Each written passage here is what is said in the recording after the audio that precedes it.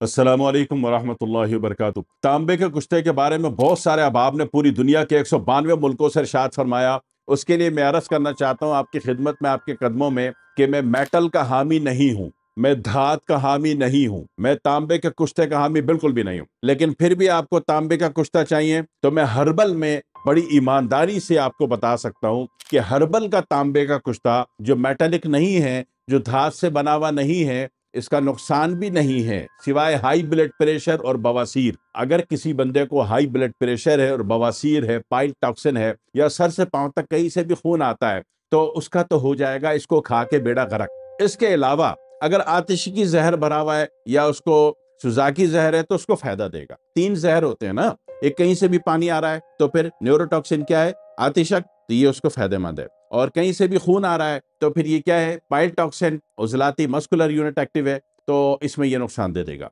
और कहीं से भी पीप आ रहा है, तीन ही चीज़ें आ रही है ना आपके दूध में, कौन सी? शहद की नहरें बह रही हैं आपके, ठीक है? तीन चीज़ें बह रही हैं, या तो पानी बह रहा है, या तो खून बह रहा है, और या तो पीप बन के कहीं से भी बह रहा है। तो पीप बन के बहने वाले को मुफीद है, पानी बन के बहने वाले को कहीं से भी मुफीद है, खून बहने वाले को ठीक ठाक नुकसान दे देगा। ठीक है ना, सत्तर हो रहे हैं, गले लगा लेंगे, आओ जन्म जन्नत चले। सोच समझ के, जज्बात में नहीं आया जाता। हालाँकि हर्बल है, हालाँकि धात वाला नहीं है, इसमें मेटल यूज़ नहीं किया गया। सेफ्टी सबसे पहले। अच्छा दूसरी बात क्या है कि आपने किसी पंसारी से ये बना के ना ज़िंदगी भर दुआएँ दोगे इंशाल्लाह। जनाब जनाब, जो हमारे चाचू है ना, चाचू, ये सरदार गरजदार सिंह, आज माशाल्लाह से बानवे, तिरानवे साल के हैं माशाल्लाह से, और एक टांग इनके अमृतसर में, एक कनाडा, एक ऑस्ट्रेलिया में टिक के नहीं बैठते, हर जगह बेकमाते माशाल्लाह से। क्यों?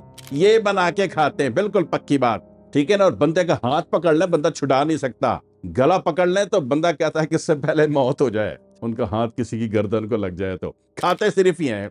पहले तो बहुत खाते होंगे, लेकिन अब वो हफ़्ते में एक दफ़ा लेते हैं। उसका तरीका बहुत आसान है। किसी पंसारी के पास चले गए, उसको क्या बोलना है अपने? एक लीटर लौंग का अरक दे दो। एक लीटर जो है, हरमल का अरक दे दो। लौंग भी कॉपर बेस है और हरमल भी कॉपर बेस है। बात समझिएगा।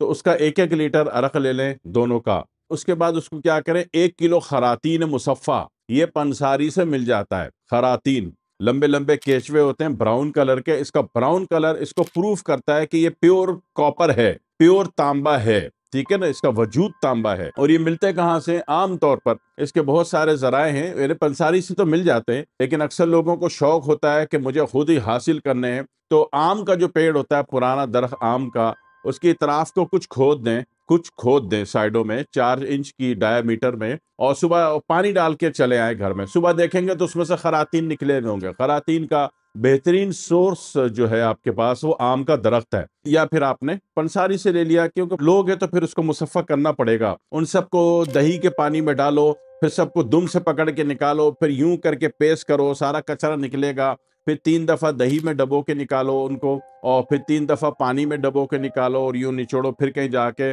कपड़े सुखाने वाली डोरी में लटकाओ तो फिर वो सूखेंगे, कागज़ जैसे बनेंगे तो काम आएँगे। पंसारियों के पास जो है, ये मुसफ़ा हुआ हुआ मिल जाता है। अच्छा दूसरी बात है, इसमें कुछ हजरात, अहबाब और बुजुर्गान इसको नाजायज़ और मकरू भी कहते हैं। तो जिनके यहाँ नाजायज़ और मकरू हो, वो इसको यूज़ ना करें। जिनके यहाँ ये नाजायज़ ना हो, मकरू ना हो, हराम ना हो, वो यूज़ कर सकते हैं। तो उसके बाद जनाब वो दोनों अरक जो है एक एक लीटर इस एक किलो में आपने डाल दिया और अच्छी तरह हिला के धूप में सुखा दें।